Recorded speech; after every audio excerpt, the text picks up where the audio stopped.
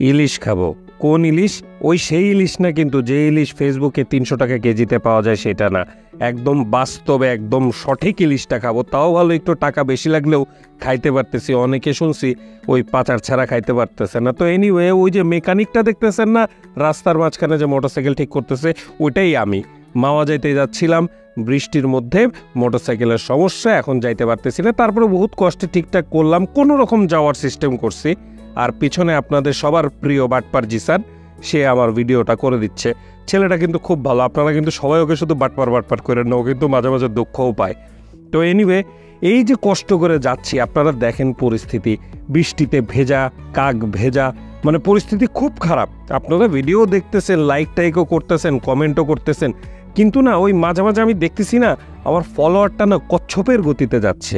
তো একটু ফলো টলো করে দিয়েন, বুঝেন না? নাহলে বিষণ্ণ হয়ে যাব।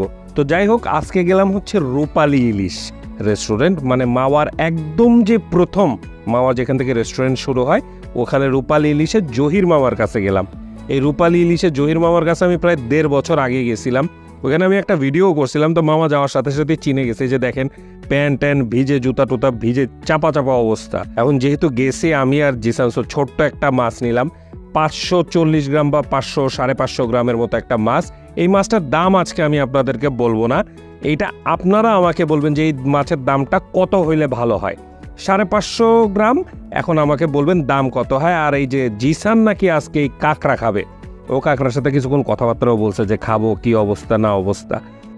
তো আমরা যখন মাছ অর্ডার করলাম, তো ওই সাথে আরও এক ভাই দেখলাম মাছ অর্ডার করছে। উনি আবার একটু বড় লোক টাইপের আর কি। ওই যে দেখতেছেন না, বড় মাছটা, ওই যে পিচ্ছি মাছটা হচ্ছে আমার, বড় মাছটা তার। কিন্তু এরকম দুইটা মাছ অর্ডার করছে, চার হাজার টাকা। তা জিসানের খুব ইচ্ছা ছিল মাছের ডিম খাবে। তো ওই লোকদের ওই মাছের ডিমের সামনে দাঁড়ায় আছে। মনে হচ্ছিল কি এখন ওই লোকদের কাছে চায় বসবে। যে ভাই, একটু ডিম দিবেন। তো যাই হোক, বহুত কষ্ট করে ঠেকাইছি। আর এই হচ্ছে রূপালী ইলিশের ভিতরের পরিবেশ। ওদের তিনটা পর্শন একটা হচ্ছে নর্মাল রেস্টুরেন্ট পর্শন আর একটা হচ্ছে এই পাশে হলো ওই বাঁশ দিয়ে ডিজাইন করা মানে একটু গ্রামীণ লুক দিছে।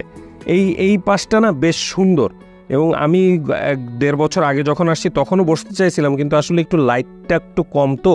আমি তো আবার একটু ভিডিও টিডিও করব, আমি এর জন্য আর বসতে পারিনি। আর এই পার্টটা হচ্ছে এসি মানে এখানে তিন চারটা এসি দিয়ে তারা একটা ছোট্ট একটা এসির পরিবেশও বানাইছে যাতে মানুষজন আসে গরমের ভিতরে। ভালোই লাগে। এখানে এর আগের বার গরমে আসছিলাম, এসের ভালোই লাগছে বসে। মাওয়াতে আসলে একটা বড় আকর্ষণ হচ্ছে ওই চোখের সামনে ইলিশ টিলিশ ভেজে দেবে এই জিনিসটা বেশ ভালো লাগে এবং চাইলে আপনারাও এই জিনিসটা নিজে নিজে ভাজতে পারেন। মানে ভাজবে ওরা মাঝে মাঝে আপনারা সে একটু পোস্ট টোস্ট দিবেন ছবি টবি তুলবেন। ভাই! আমাদের এখানে আসছেন ভালো করে খাওয়ানোর দায়িত্ব এদিক দিয়ে মাছ ভাজা হবে আর আমার যেটা সব থেকে পছন্দ মাওয়া আসলে সেটা হচ্ছে ইলিশের লেজ ভর্তা। আমি তো অনেক আগেই বলছি যে যেই লোকটা এই ভর্তা বানানোটা আবিষ্কার করছে, ইলিশের লেজ ভর্তা, তাকে হান্ড্রেড পারসেন্ট যেভাবেই হোক একটা নোবেলের ব্যবস্থা করে দিতে হবে। যদি কোনো বড় টাকা যদি ডোনেশন টোনেশন দিয়েও যদি করা যায়, একটু ব্যবস্থা করা উচিত। জহির মামার এই ইলিশের লেজ ভর্তাটা হান্ড্রেড পার্সেন্ট। রূপালী ইলিশে আসলে বলবেন, জহির মামার হাত থেকেই ভর্তাটা খাইতে হবে। আর শুকনা মরিচ দিবেন না। জহির মামা বানাই দিবে আপনাদের ফাটাফাটি। তো আজকে খাচ্ছি হচ্ছে খিচুড়ি, আজকে আর ভাত খাব না।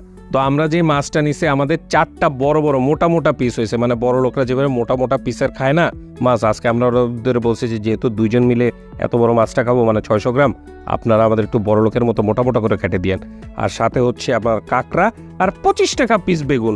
এই বেগুনের আবার একটা ব্যাপার আছে, বেগুন কিন্তু ওদের এখানে সমিতির থেকে দাম নির্ধারণ করা হয়। আর এই হচ্ছে লেজ ভর্তা, নোবেল আমাকে দিতেই হবে।